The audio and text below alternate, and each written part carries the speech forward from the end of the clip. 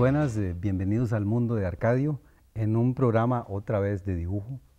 Por eso tengo el lápiz en la mano, porque quiero hacer un dibujo de un personaje antiguo. Ya hemos hablado mucho de personajes y he hecho incluso aquí romanos, he hecho vaqueros, he hecho varios tipos de personajes, pero hoy voy a hacer uno distinto, que, son, que está muy famoso últimamente. Y este personaje tiene características eh, del norte de Europa, en los países nórdicos. Aquí vamos a hacerlo y voy a explicar todo el proceso para que ustedes lo vean claramente. Nada más tengan a mano un lápiz 2B o un lápiz 3B si quieren. Yo voy a usar un lápiz 6B de una vez lo advierto, porque es que necesito que ustedes lo vean claramente, pero no, necesita no, significa que ustedes tengan que usar el lápiz 6B. Yo lo voy a usar para que sea más claro para ustedes en televisión, pero a la hora de dibujar ustedes en casa lo hacen con un 2B, con un HB o con un 3B, ya con un lápiz muy suave más bien. Pero antes quiero mostrarles la sección de la tira cómica Wenceslao. Ahí vemos en pantalla a este personaje que eh, tiene sus vivencias, ahí está en la rama de guayabo, en el ramo de guayabo, es un arbolito de guayaba, él se sube ahí a pensar y a ver el mundo en otra, desde otra perspectiva. Y algunas veces invita a algunos de sus amigos, charlan sobre cosas eh, de la vida y pues tienen escenas eh, algunas veces muy cómicas, otras veces de, que hay que pensar, ¿verdad? Lo que se dice, y tienen una gran cantidad de vivencias, porque esa es la rama preferida de, de Güences, estar en esa rama de, de guayao, que por cierto se asemeja mucho a una rama de guayao que yo visitaba frecuentemente en Cebolla de Turrúcares cuando vivía ahí, era chiquitillo, tenía como ocho años y me subía a una rama de guayao. Bueno, ahora vamos a hacer el dibujo. Eh, simplemente hay que disponer del espacio, yo ya he trazado aquí la línea esta eh, la que me va a servir para poder guiarme. Cuando uno trabaja siempre en un personaje, especialmente si está de pie, que es un personaje en forma vertical, debe disponer de una línea, como en este caso, y yo lo voy a dividir en cinco, porque en realidad lo que, lo que necesito es que se vea claramente cómo es que se disponen de los elementos. Vamos a ir al espacio aquí para que lo veamos.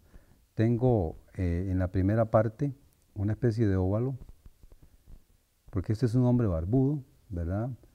Tipo eh, ¿Cómo le llaman los eh, hombres eh, de aquella época en los países nórdicos? Vikingos, ya usted me lo dijo correctamente. Siempre tengo aquí a los compañeros camarógrafos que me están salvando la tanda todo el tiempo, porque algunas veces se me olvidan los nombres. Aquí es trazar simplemente em, cómo es que está estructurado él, ¿verdad? hasta dónde llega cada parte, y se hace un poco grueso, serán hombres grandes, fuertes, musculosos, eh, sin miedo a nada, ¿verdad? No voy a decir otras palabras, pero eran hombres de un carácter sumamente fuerte, un temperamento fuerte. Aquí voy para abajo, eh, a ver dónde me llega la forma de la ropa de él. Eh, recordemos el espacio que tiene, es un hombre muy musculoso y además de eso con ropas eh, bastante gruesas por el frío y entonces necesito ubicarlo correctamente en el espacio. Aquí lo que tengo es una parte de la pierna de él que se ve parte de la rodilla, entonces Ahí lo voy a trazar de una vez. Vengo con la parte de la pantorrilla, donde va la tibia y el peroné, y aquí la forma del pie. Que el pie se puede practicar eh, independientemente en casa, em, pues que usted eh, tome fotos de alguien en la casa y, y luego pueda usted imprimirlas y observar cómo son, ¿verdad? Y dibujarlas. O sea, no hay excusa para nada, hoy en día todo es factible. Todos los celulares tienen cámaras y uno puede estar fotografiando constantemente para poder hacer prácticas de todo tipo de cosas. Ya en otra clase había explicado diseño, en otras había dibujado un vaquero, había dibujado eh, un romano, un caballero inglés hace mucho tiempo, en fin, he hecho varios porque eh, la historia tampoco debe olvidarse, forma parte de la, herencia que nos ha dejado el mundo en diferentes culturas y es importante siempre eh, tomarla en cuenta. Al final les voy a mostrar también una obra de uno de mis televidentes que siempre muestro aquí en televisión, que para eso los invito a que me envíen a mi Facebook, que ustedes luego, luego les voy a mostrar la página en Facebook, para que me visiten ahí y me envíen las obras que ustedes están pintando o dibujando. Y ahí hacemos una valoración, los incluimos en el álbum en Facebook eh, llamado Mis Televidentes y luego también los pasamos a mostrar aquí en televisión. Bueno, hacemos una selección, claro. para poder incluirlos. Ahí voy con el ropaje de, de este hombre, ropaje complicado, aquí sale em, parte del, del, brazo de él, todo es a nivel de boceto al principio, ¿verdad?